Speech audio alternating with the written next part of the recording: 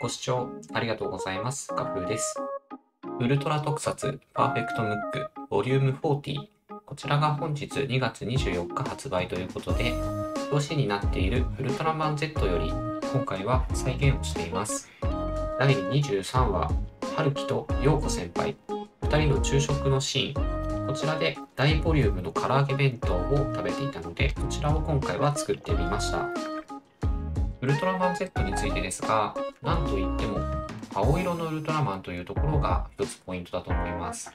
今までウルトラマンコスモス、アグル、フーマン、こういった青色の選手はいたんですけれども、基本的には光の国出身ではないウルトラマンでした。光の国のウルトラマンは基本的に赤色の形態が多いんですけれども、今回は青色の戦士ということで、異色の作品だったかなというのが個人的な感想です。まあ、ただ、ウルトラメダルを使って多色のフォームチェンジするというところは今まで通りのウルトラマンだったかなというふうにも思います。特にですね、ウルトラマン Z のフォームの中でも私はガンマフューチャーが好きですね。モロ世代であるティガー、ダイナ、ガイア、こちらの3つのメダルを使ってフォームチェンジした形態なんですけれども、ウルトライリュージョンがめちゃくちゃかっこいいですね。あと、ウルトラマン Z でポイントとなるのは、私はカラータイマーかなっていうふうに思いますね。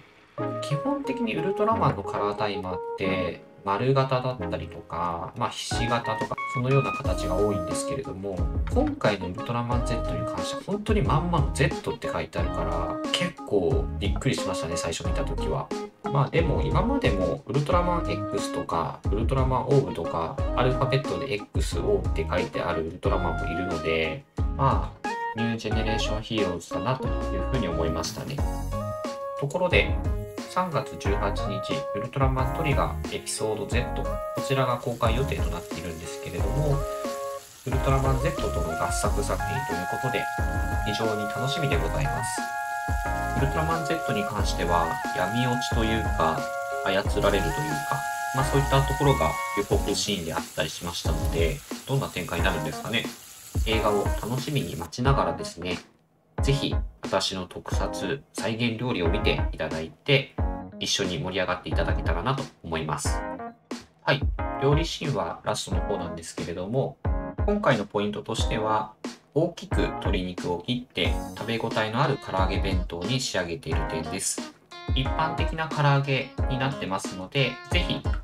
自分にお子さんに作ってみてはいかがでしょうか。